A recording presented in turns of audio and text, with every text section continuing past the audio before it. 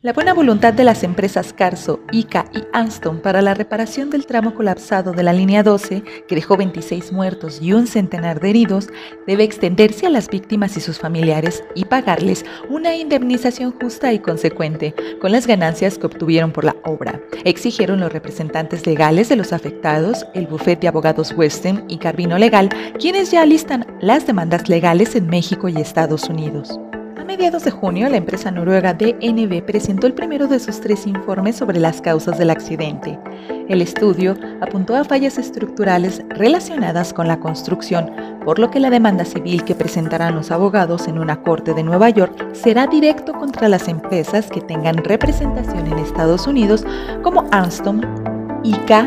y Carso Infraestructura y Construcción Estados Unidos, mientras que en México se entablarán tres acciones legales en las cuales se incluirán a las empresas que no entren en la demanda estadounidense.